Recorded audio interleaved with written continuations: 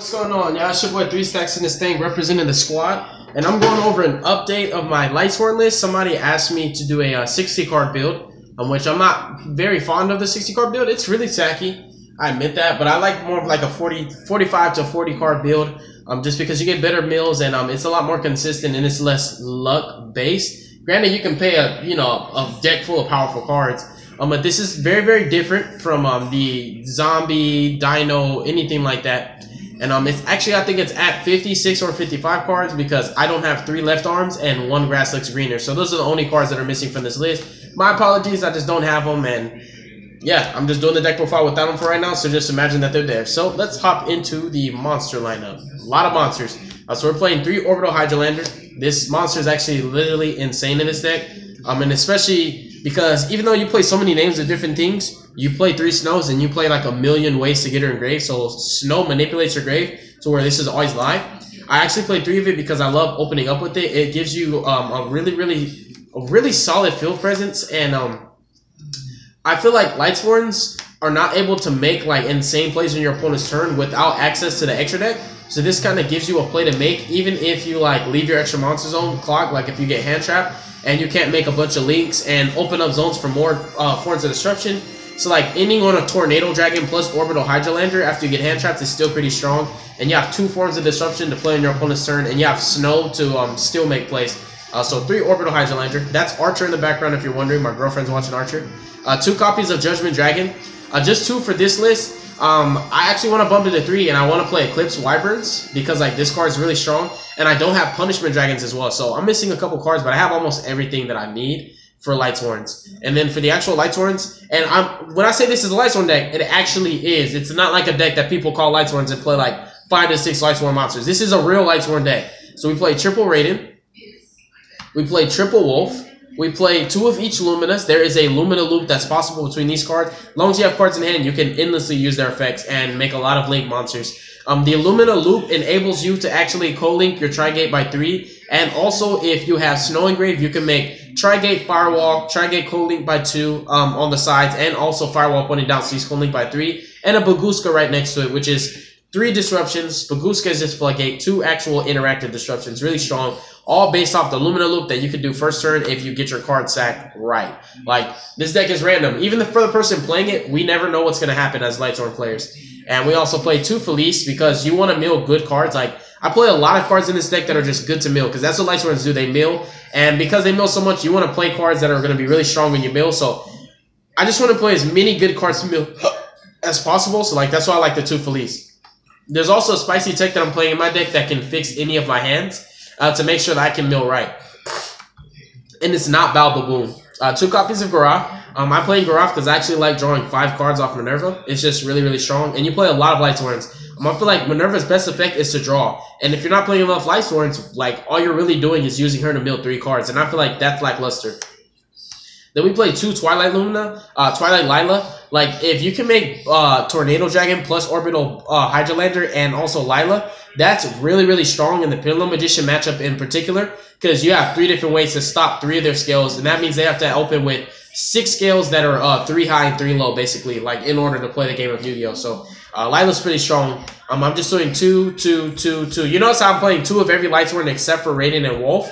Um, Wulf, you, are like he's never gonna really be engraved, and you want to sack him all the time. And Raiden is like arguably one of the best starter Lightsworns. Like he does stuff by himself without the assistance of others. Notice how like all these need other things to trigger them. Even her, your opponent has to play something. Something has to be milled. She has to be milled. You have to have targets. You have to have targets. This has to be milled. Raiden does stuff by itself. So just three of these and two of all the others because you're playing Hydralander, and nonetheless you still have snow, so it doesn't really matter. then the Predaplant engine which you can play without it, but it's too good. Like, especially because you're trying to make curious. So you play three Lonefire, uh, you play three Scorpios, two Darling Darlingtonia Cobra. Um, one major issue with um, Lightsworns is that they like they can mill a one of that can ruin their entire like ten cards in their engine, ten engine like cards in their deck. So like that's why you want to play two Scorpio. Like it's just really really strong, and also making Invoker and MX Saber, uh, making MX Saber Invoker than Missus Radiant I love you too. To open two zones is still pretty strong if you can't bring fusion or like if your bring fusion gets, you know, stopped or whatever. So I feel like two Cobra is correct. You can just play the one and then when you lose it off desires or you mill it, you're gonna realize that you should be playing two. So two of that. And these are all just the engine cards. And you play three Snow, best card in like the whole deck. Uh, three Goblin Bird for more starter cards. Like you want to make Minerva as fastly as possible, as quickly as possible. and these are all the extenders, and they're all one ofs. so you have Giant Rex, you have Trick Clown, you have Thousand Blades, you have Damage Juggler, you have Hat Tricker, you have Crystron Rosenix. Uh, Flower Bot is my spicy tech. I always have goo in my deck. Um, Lightsworn players aren't running this. I don't understand why they're not running it. I would be running it at three, but I only have one. Um, but I feel like everybody who's watching this that plays Lightsworn, start playing this in your deck. Uh, of course, just always give credit where credit's due. Um, don't steal somebody's goo and they claim that it's yours. You know, like if somebody gives you a cool idea, just give them the, at least the credit. Like, hey, uh, this guy came up with some crazy goo, right? Uh, so you want to play three flower bots in your deck. Um, I'll read you flower bots effect if you don't know what she does. Um, she came out in World Superstars not too long ago. Um, so if this card's sent to the graveyard, you draw one card. Then you place one card from your hand on the top of your deck. That's why I want to play three of this, because you know how you draw wolves and you draw Felices? You just draw cards that you want to mill, right? You mill her, right? And you draw a fresh card, and then you put your wolf on top of your deck, then you mill your wolf and special summon it. That's too broken to me. And you also can, uh, theoretically speaking, you can put back your Cobra. Who's calling me? Okay.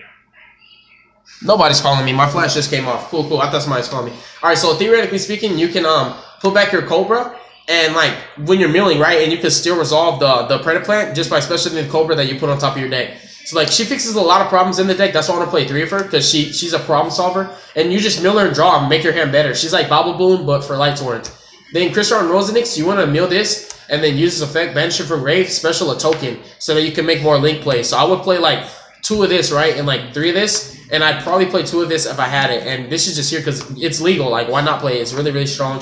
And it searches out this, which, you know, you play like a lot of engines. Lightsworns just play graveyard engines. Like, that's all they do. So you play like a lot of Lightsworns, but you also play a lot of monsters that are not Lightsworns, which is pretty fair. And then moving forward to the spells, we play uh, the charges. They're at three, so, you know, you play three of all of them uh, three charge and three solar recharge, uh, three pot and three brain fusion, and another spicy tech, one Metalfoes Fusion.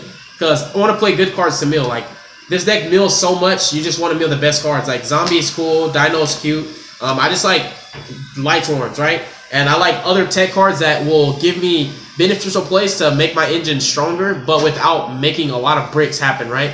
Like you don't want to draw this, but you can always discard it off of Lumina, or you can discard it off of Predaplant. So this is live. This is live. You can just discard it. This is great. Having it in hand, you know, like you can stop wavering eyes in when you're playing um the Pendulum Magicians. Uh, this is great. Having it in hand, make Minerva. This is great. Like these are all still really, really good cards. Um, Dinos and Zombies are a little bit more situational, but you know, to each his own. Play your deck how you want. Don't let anybody stop you. Um, and I, I really don't let anybody stop me from playing decks how I want. Whether they say it's bad or not, I like it, so I'm playing it. Uh, two Minervas, one Bagooska, one Tornado, and one Savior Volker for the XYZs. Synchros are Omega and Michael. Um, a lot more synchros come up, but this deck is a little bit heavier on the link summoning mechanic because Light Lightsworns go crazy. They really do go crazy. So you have Firewall, he's at one. You got Borreload. Um, Saryuja Skull Dread should be in this deck. Um, but like, there's a couple cards that I forgot to um put in right because I, I made this deck profile really hastily. Like for example, if you notice, I'm playing the Brain Fusion engine but I forgot to put in a Gem Knight, right? So I have Gem Knights right here.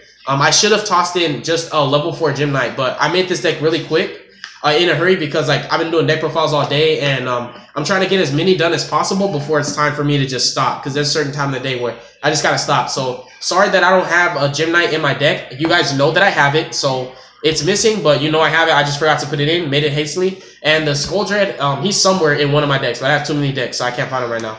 And then we have Curious, best card in the extra deck. Honestly, guaranteed snow. Um, fix your grave so that you can always do orbital on your opponent's turn. Pop cards without targeting. Uh, add your hand traps back if you're playing them. Just strong card.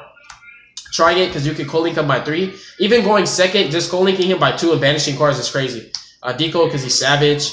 Missus for the combo. And then these because you can do Trigate like this, right? And then just go bam, bam, just like that. And then what do you think's up here? Firewall, boom, just like that. And that's the combo. Really easy to do. Uh, so that's the deck profile, you guys. I hope you enjoyed it. Uh, keep in mind, this is like the MVP. This like if you don't take anything else out of this video, um, these are great. Play these. Try them out for yourself. This, you have to play this. You have to play three of this. It's too good. Like, you know, we draw our Wolves, we draw our Felices, we, we draw all these cards that we need to be in our deck. Draw a fresh card, put that card that's bad in your hand on top of your deck, mill it, And it also makes sure that you draw more. Like when you have Minerva Garoth, Minerva mills three, you mill this, right? You draw. In addition to drawing off Minerva, you draw another one. And this triggers um, also. And then you have like Garoth as a separate chain. This is a separate chain. So you can put this as chain link 2, Garoth as chain link 1. This will put a Lightsworn from your hand on top of your deck. Then Garoth triggers as chain link 1 because Minerva like triggers in a separate chain. Then you mill a guaranteed Lightsworn, so you draw possibly two more cards. Like you could draw six cards potentially. Really powerful. Um, I hope you guys enjoyed this deck profile. God bless you. Make good choices. Don't hurt your brain cells. Stay tuned for future content. I hope you found this to be um, quite spicy and maybe perhaps like I guess you can say I we say inspiring, right? To just try something different in your Lightsworns other than zombies and dinos. But yeah, you guys, I'm gonna sign out and move to the next video. Peace.